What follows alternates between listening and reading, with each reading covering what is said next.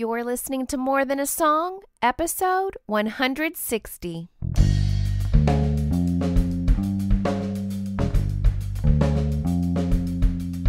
Hello, and welcome to this episode of More Than a Song. My name is Michelle Nezat, and this is the podcast dedicated to helping you discover the truth of Scripture hidden in today's popular Christian music. My goal is to teach you to connect portions of God's Word with the songs you're singing along with on the radio, to help you meditate on truths that will transform your way of thinking and ultimately your life. This week's song by Mercy Me is new and has rocketed up the charts. And I know that songs that resonate get more playtime. But what I love most about Even If is that it resonates, yes, of course, but more importantly, it points us directly to Scripture. And you're going to find pairing your Bible study time this week with this song, you're, you're going to find that it's going to be extremely powerful. And I, I just can't wait any longer. So let's jump right on in. What will I say when I'm held to the flame like I am right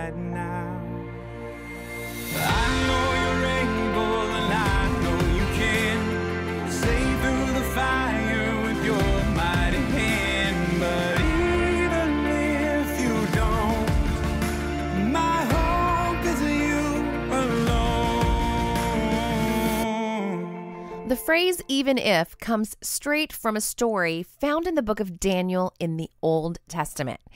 Now, whenever I'm tackling a book of the Bible that I'm not familiar with or that I haven't studied in a while, I'll use the Bible Interaction Tool exercise.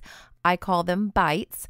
Uh, these are just exercises that I use to uh, interact with God's Word. So I will use the Bible Interaction Tool exercise of consulting a commentary or a summary introduction.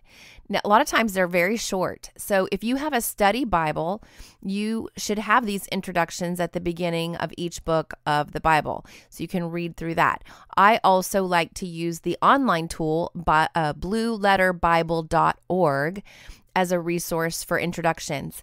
So, through my research, I discovered that in just by reading the introduction, it told me that the first 6 chapters of Daniel record fantastic stories of God's supernatural rescue of Daniel and his friends. And then the remaining chapters of the book consist of visions and future judgment and deliverance by the Messiah. And some of Daniel's prophetic themes are yet to be fulfilled and they're echoed in the book of Revelation. Daniel's a very exciting book. Now, I will go ahead and link to the introduction in my show notes found at michellenezat.com forward slash 160. So I will link to uh, that introduction at blueletterbible.org there. Now, the next Bible interaction tool exercise is to read in context. If you've been a listener for long, you know it's my favorite my favorite bite.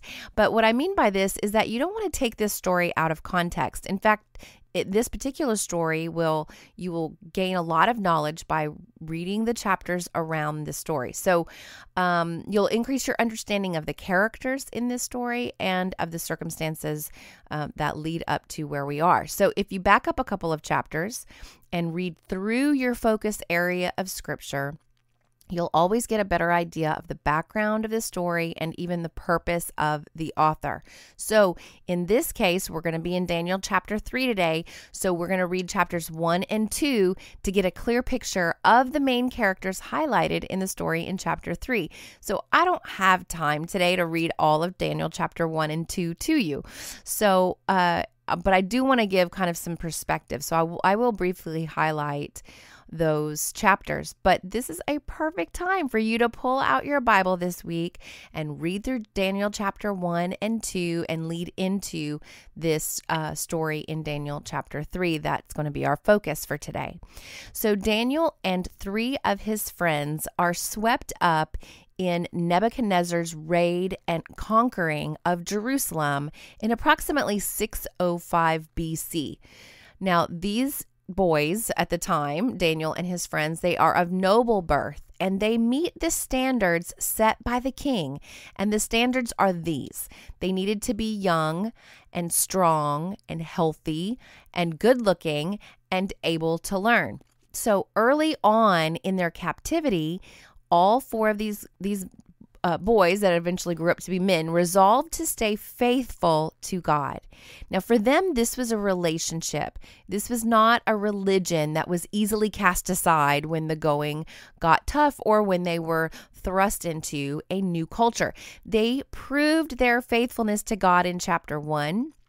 And then God miraculously used them in chapter two, ultimately giving them high positions within the Babylonian kingdom. Now, some of the commentary I read this week indicated that it could be as many as 20 years later when the events of chapter 3 happen. So, this brings up the importance of historical context, which is another bite I like to use. Truly understanding elements such as culture and the time when the book was written, and even an estimation of the dates of events, can really shed light on the dialogue and on the details of the account that we're going to read in chapter 3. So let's assume that Shadrach, Meshach, and Abednego, these are their Babylonian names, by the way, they have been, uh, again, let's assume that they have been ruling authorities in Babylon for 20 years.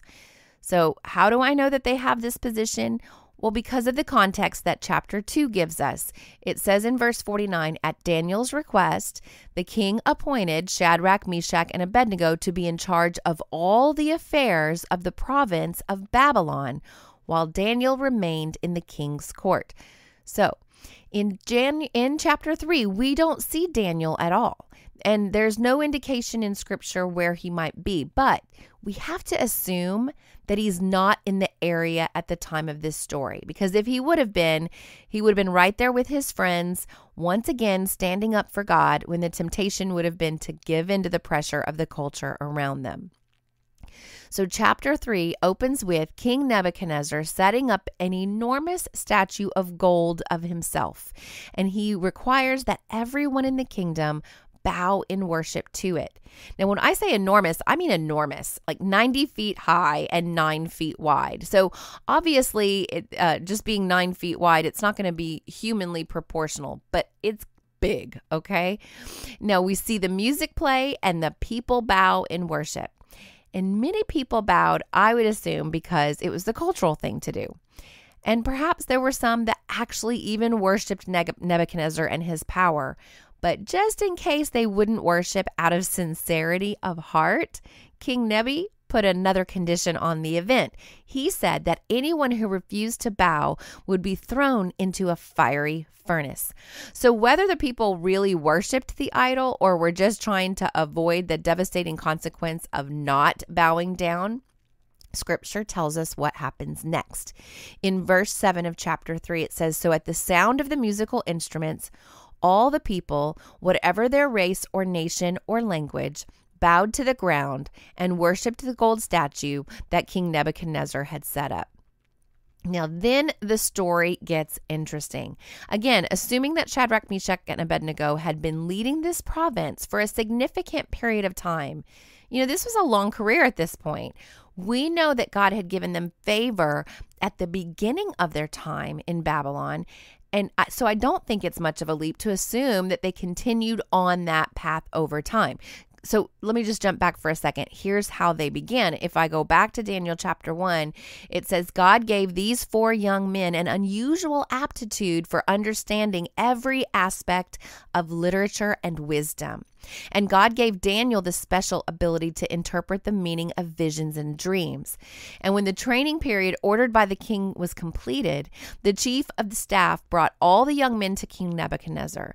And the king talked with them, and no one impressed him as much as Daniel, Hananiah, Mishael, and Azariah, which, by the way, were their um, uh, were their is, is uh, Hebrew names. So they entered the royal service. Whenever the king consulted them in any matter requiring wisdom and balanced judgment, he found them 10 times more capable than any of the magicians and enchanters in his entire kingdom. So here we have some men who were capable and wise.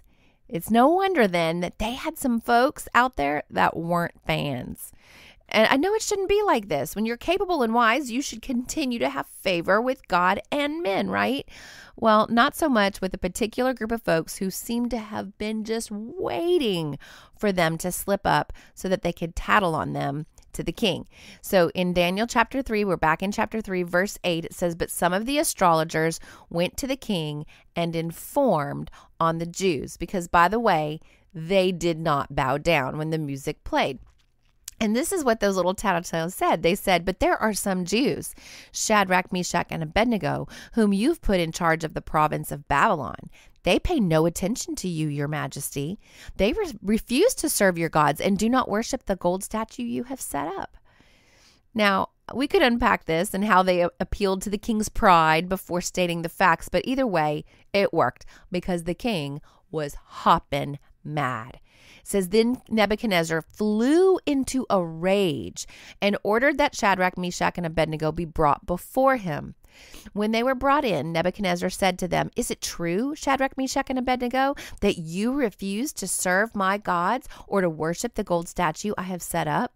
I will give you one more chance to bow down and worship the statue I've made when you hear the sound of the musical instruments. But if you refuse, you will be immediately thrown into the blazing furnace. And then what God will be able to rescue you from my power. Now, their very lives were on the line at this point. They could have complained that they had faithfully served in these roles for 20 years. They could have brought up case after case of when their wisdom served the king well, but they didn't focus in on themselves or their circumstance. This is what they honed in on. They honed in on the claim that God could not rescue them. Here's their response in verse 16 of chapter 3. Shadrach, Meshach, and Abednego replied, O Nebuchadnezzar, we do not need to defend ourselves before you. If we are thrown into the blazing furnace, the God whom we serve is able to save us. He will rescue us from your power, your majesty, but even if he doesn't, we want to make it clear to you, Your Majesty, that we will never serve your gods or worship the gold statue you have set up. Now, I don't know what your even if situation is. It may be as hot as a fiery furnace, but the thing we can learn from these three friends is that they had their eyes fixed on the right thing. You know, I asked myself, given similar circumstances, what would I be focused on? You know, when I come home at the end of the day and my husband asks, So, how'd your day go? Do I say, The king had the nerve to claim that God could not rescue me? If I'm honest, Probably not. I'm probably hopping mad at the astrologers. I'm railing against their leadership style. I'm claiming I knew all along that they had it out for me and they finally took their chance. I'm I'm feeling totally justified in my anger that the king didn't even think about the 20 years of service I put in. I'm pointing out how qualified I am over those who want my job. I may even be complaining that Daniel wasn't there. But that is not what Shadrach, Meshach, and Abednego did. They, in fact, they say what I wish I could say more often, which is, I do not need to defend myself before you. You know, we don't have to defend ourselves. And you know who else we don't have to defend? We don't have to defend God. I often feel like I have to defend God, somehow believing that He needs to be properly perceived by others at all times, you know, smoothing things over in their mind about who He is and what He can do. They said it the God whom we serve is able to save us. He is able. He is able. I've been praying with a friend this week who knows he is able and wondering why he isn't rescuing.